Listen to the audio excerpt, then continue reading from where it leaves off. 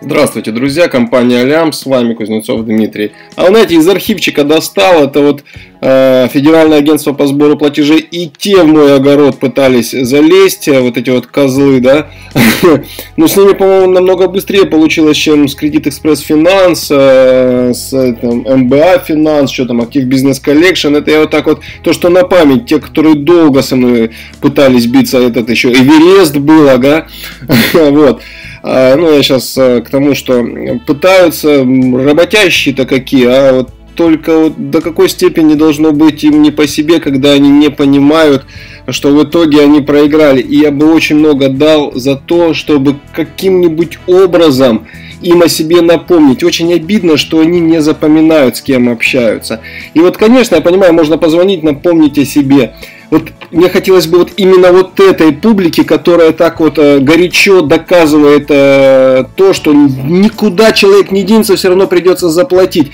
Вот как бы вот именно на этого дебила или дебилку выйти и им дать понять, слушай, вот он я, я ничего никому до сих пор не плачу, а твои угрозы ты можешь засунуть себе в то самое вот э, место, откуда, ну вы знаете, о чем я сейчас говорю. И давайте вот из архивчиков годичной давности ролик, ну внизу уже многие, наверное, не слышали, это меня еще те ребят. Те, кто мою историю не знают, я много раз рассказывал, ну слушайте, в общем, короче говоря, до того, как я стал это все предлагать людям, как организовал компанию Лям, я сам все на себе это протащил. Итак, слушаем, наслаждаемся и смеемся.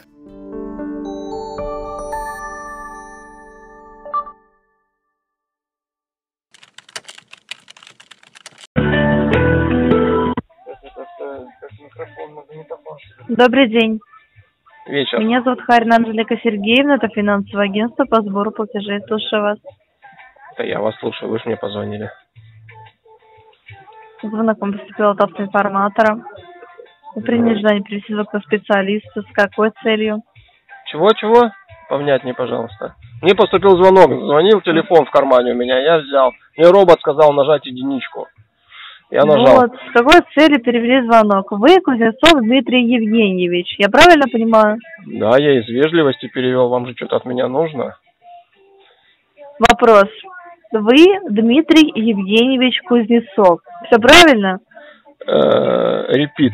Да, из вежливости перевел, потому что вам от меня что-то нужно. Помните, так сказал? Репит по-английски, значит, повторяю. Сумма вашей задолженности по состоянию на 25 июня текущего года по продукту Visa Gold составляет 621 тысячу 850 рублей 91 копейку. Сумма выставлена вам на полное взыскание, то есть графика платежей у вас нет.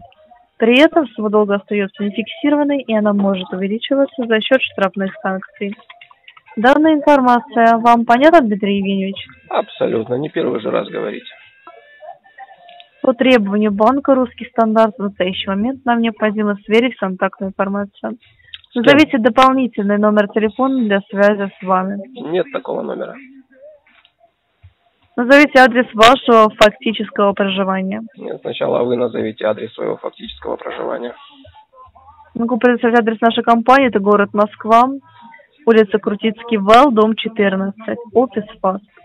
И какие отношения у вас, вот этой вашей компании, со мной? Банк «Русский стандарт». Банк «Русский стандарт» находится совсем по другому адресу.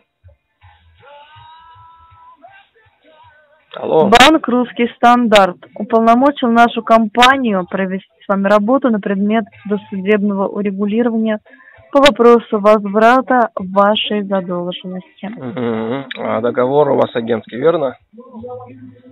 Правильно понимаете. А с кем заключается договор? Информацию... С кем заключается а... агентский договор? С банком «Русский стандарт», с руководством банка «Русский стандарт»? Агентский договор заключается между двумя юридическими лицами. В да, данном конечно. Случае. В данном конкретном случае. Конечно, конечно. Я полностью в данном конкретном случае это банк «Русский стандарт» и акционерное общество финансовое агентство по сбору платежей. Банк «Русский стандарт» в лице директора, либо представителя, либо доверенного лица. Ваша организация в лице директора, либо представителя э, этого директора. А вы кто, дамочка? Что зависаете? Евгеньевич. Перевариваетесь? Я, я вас слушал, нет, я вас прекрасно ну, слышала. Ну, вот вы, дамочка, кто в этой компании? Руководитель. Меня зовут Анжелика вы, Сергеевна. Вы имели честь Я поставить являюсь автограф на этом договоре, да? Или, может быть, я вам помогу, вам организация «Ваша доверенность» выписала, которая делегирует вам право общения со мной. Вы все сказали? Ну, А теперь послушайте меня. Я являюсь сотрудником акционерного общества финансового агентства по сбору платежей. Доверенность мне не требуется, потому что я нахожусь в штате данной организации. Нет, дорогуша, по закону а, вести переговоры со мной имеет право только тот человек, кому доверили, либо та организация в лице директора, либо доверенное лицо. Это закон. Я вам говорю об этом Это как не, юрист вы не правы. с 14-летним стажем. Сейчас Дмитрий замолчите и послушайте, с вами вы сейчас говорите, вы сейчас стажем. говорите Да. совершенно безграмотно. В рамках А. юриспруденции вы выражаетесь некорректно. по причине, Аргументируйте. Аргументируйте. Согласно, согласно, согласно агентского договора Это повторение заключается... озвученного материала. А теперь аргументируйте ваши доводы, уважаемая барышня. Я, в свою очередь, могу аргументировать свои. Уже достаточно весомые аргументы я вот сейчас преподнес. От вас я ничего не услышал, кроме повторения озвученной информации, которую вы заучили. Еще раз повторю, я юрист. У меня 14-летний стаж. Я занимаюсь тем, что помогаю людям Это не относится, это не относится к предмету переговора. Как же не относится? Я вас просто пытаюсь вам помочь, чтобы вы ахинею не несли. Ваша помощь мне не требуется. Монол- Если вы юрист, а, вспомните, что такое понятие диалога существует. Да, я знаю, отлично это. Ваш монолог мне сейчас абсолютно не интересен. Ну, если посчитать вот, количество как слов, юрист- которые вы а, озвучили и которые я произнес, ваших слов гораздо больше, только они одинаковые, они постоянно повторяются. Трудно так Параллель с вами, параллель с вами вести переговоры я не стану.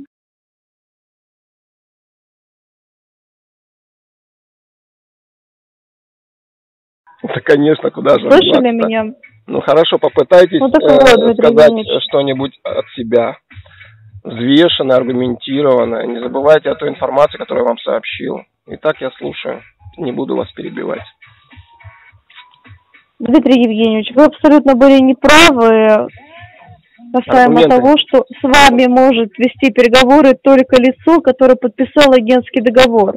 На основании агентского договора подписывает лицо согласно с вами директор либо уполномоченное лицо, которое вправе представить интересы нашего юридического лица, это АУФАС, но заключает договор на работу нашей организации в целом. Не только то лицо, которое подписывает договор, уполномочено производить с вами работу, но именно наша компания. Банк «Русский стандарт» уполномочил не определенному физическому лицу, а именно юридическому лицу И в общем правильно! акционерного И общества правильно! А вы финансового кто? агентства по Душечка? сбору платежей Ну вы же, Дмитрий душечка, Евгеньевич, физическое лицо. повторяю Вы вам, же не что я являюсь лицо. специалистом Да. акционерного общества финансового агентства по сбору платежей. Вольно наемный Я вам сотрудник вы. рекомендую, рекомендую включить запись переговоров, Она у меня если переговоры включена. записывались, и прослушать его изначально. Я его всегда включаю. Настройтесь на диалог, И мы Если с вами можем прежде это чем- сделать на YouTube. прежде чем называть себя юристом, Дмитрий Евгеньевич, Мгм. прежде Ну, чем ну, назвать себя юристом, изначально ознакомьтесь с нормативно-правовой базой, чтобы впредь в такую неловкую ситуацию не попадать. Сейчас, если вас прослушают на самом деле юристы, выглядеть вы будете довольно-таки Девушка, я весело. повторю, вы физическое Поэтому настраивайтесь на диалог. Вы сами Я озвучили лицо, полностью, которое да. заключило трудовые отношения Да, с акционерным обществом финансового агентства по сбору лицом. платежей. Вы остаетесь вольнонаемным сотрудником, физическим лицом. Как вы У вас- представите, как вы представите, что вам позвонит финансовое агентство по сбору платежей? В роли Да, кого? Я разговариваю с вами, делаю вам огромное одолжение. Я могу вас послать, куда подать. Настраивайтесь Мне на диалог, с вами свяжем и подумайте, что вы сейчас воспроизводите. Себя услышите хотя бы. Всего да, доброго. конечно, конечно. В отличие от нее, друзья, мы не то, что я сам подумаю, а мы вместе с вами подумаем. И я в конце опросничек размещу, как по вашему мнению, прав я или нет. Тут даже не нужно обладать какими-то юридическими познаниями, а просто поразмышлять. Ну, с небольшим таким уклоном в юридическую плоскость. Итак, она утверждает, что они заключили агентский договор. Кстати говоря, это очень-очень спорный вопрос. Наверняка ничего они не заключали, а просто с биржи должников взяли информацию, как и многие другие коллекторы делали. Ладно, окей, заключили якобы. Юрлицо в лице директора либо доверенного лица там поставили подпись, действующий на основании устава и так далее. После чего э, они должны осуществлять свою деятельность. И, конечно же, у них должны быть сотрудники, которые будут а, вступать в переговоры. Так вот, помимо этих сотрудников, есть еще куча других сотрудников. Уборщицы, там всевозможные писари, не знаю, в конце концов, юристы, что, скорее всего, не соответствует истине. В таких конторах юристов не бывает никогда нормальных. Так вот, ладно. Вот та публика, уборщики, юристы и документоведы, они, конечно, могут э, совершенно спокойно э, работать на благо этой организации. Вот те сотрудники, которые по должностным своим обязанностям обязаны вступать в переговоры с людьми, те должны соответствовать строго закону. Их действия должны быть узаконены. А закон о чем говорит? Что вторгаться в чужое личное пространство нельзя, это раз. Только по желанию самого человека, кому вы звоните, это два. Ну и там очень много, очень, очень много пунктов, это три. И если вдруг этот человек звонит, да, он должен официально представлять интересы вот этой организации. Ему должна быть, то есть эта организация, ну, насколько я подозреваю, является оператором, который имеет право обрабатывать э, персональные данные. И он в реестре находится она, эта организация находится в реестре. Так вот, если соответствовать всем законодательным нормам, то, естественно, э, лицо, которое осуществляет вот эту вот переговорную часть, э, должна тоже соответствовать вот этим самым нормам. То есть это должен быть либо сам директор, сам директор, либо лицо уполномоченное э, доверенностью. Проще говоря, каждому сотруднику на основании этого договора, а договор агентский заключаться должен четко, конкретно по конкретному эпизоду, то есть со мной, либо с Иваном Ивановичем Пупкин, ну, на предмет а, разговора а, с Иваном Ивановичем Пупкиным, либо вот со мной, с Кузнецовым Дмитрием Евгеньевичем. То есть не должно быть, знаете, как я слышал в одном из роликов, договор сразу агентский на 600 человек. Нет такого, нет в нормах нигде. Конкретно, если договор, то значит банк, коллектор, должник один персонально. И вот за этим должником должен закреплен быть какой-то сотрудник, которого есть доверенность э, на осуществление э, переговорной э, части, да, вот именно этот сотрудник является окончательным звеном, который непосредственно ведет сбор той самой информации. Это очень строго должно контролироваться. То, что происходит здесь, это тупик для них. То есть, как она сама сказала, как мы можем вам э, доказать, что мы с этой организацией? Да никак. Точнее, есть четкий конкретный регламент, который вы не выполняете. Хотите, я вам расскажу, как это должно выглядеть? И вы поймете, почему э, это невыполнимо с их стороны. Ну, во-первых, на основании 230 федерального закона вас должна уведомить организация кредитор о том, что появилось третье лицо. С указанием всех реквизитов, названий, адреса и так далее. Кредитор, а не сам этот коллектор. После этого коллектор звонит вам, и вы видите, понимаете, что именно это э, коллектор он после представления с вами общается. И вот это вот там, какая ее там зовут, Анжела, я не помню, да, по-моему, как-то на Х у нее фамилия, должна представиться и объявить, что она является непосредственным лицом, которому вот эта организация, в данном конкретном случае Федеральному агентству по сбору платежей, поручено то-то, то-то, то-то делать. Я имею право, как человек, с которым идет вот этот контакт, А, либо отказаться взаимодействовать с ними, это тоже закон не регламентирует, совершенно спокойно сказать, нет, не хочу, не буду, вся перепи... а, все общение в переписке, ну как вариант.